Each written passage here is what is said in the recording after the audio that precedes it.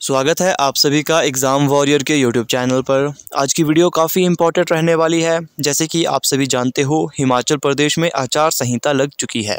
अब इस आचार संहिता का क्या प्रभाव पड़ेगा? फॉरेस्ट डिपार्टमेंट में जो भर्ती निकली है, या फिर जेओआईटी के रिज़ल्ट में बहुत सी भर्तियाँ हैं JOIT की भी, जैसे कि नौ सौ तीन, नौ सौ उनतालीस, आठ सौ सत्रह, नौ सौ पैंसठ भी होनी है। उस पर क्या प्रभाव पड़ेगा? एच के जो फॉर्म फिल हो चुके हैं, उन पर क्या प्रभाव पड़ेगा?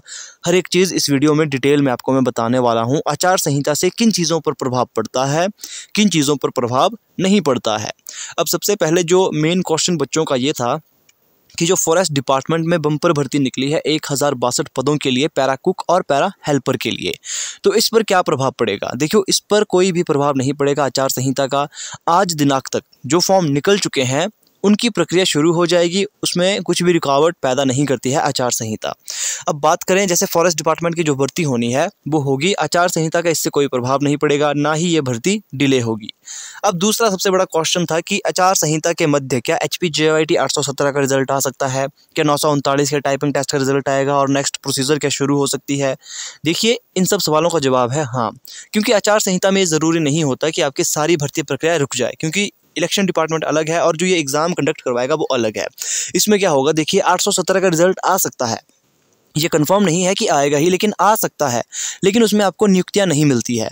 रिज़ल्ट आने में आ सकता है, लेकिन नियुक्तियाँ नहीं मिलेगी। फॉर एग्जांपल जैसो कि एच पी जे टी आठ सौ सत्रह का रिज़ल्ट आ जाता है। वहाँ पर सिलेक्टेड कैंडिडेट्स के नाम आ जाएँगे, लेकिन आपको डिपार्टमेंट फ़िलहाल जिस, जो डिपार्टमेंट आपको मिला होगा, वहाँ पर अपनी आप सेवाएँ नहीं दे पाओगे। नियुक्तियाँ वहाँ पर फ़िलहाल आपकी नहीं होगी, जब तक आचार संहिता लगी हुई है।